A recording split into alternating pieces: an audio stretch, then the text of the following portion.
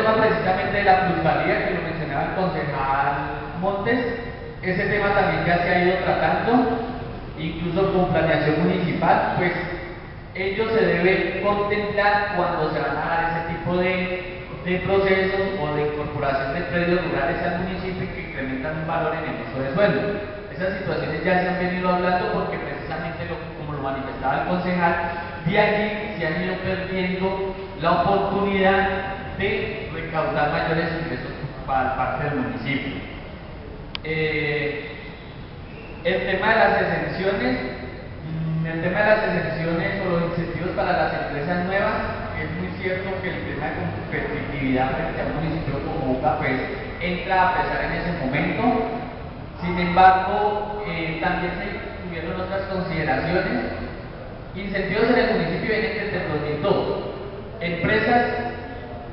Que han acogido esos incentivos son pocas. De esas pocas que se han acogido, si usted entra a mirar, muchas no cumplían con la condición de empresa nueva y lo tuvieron.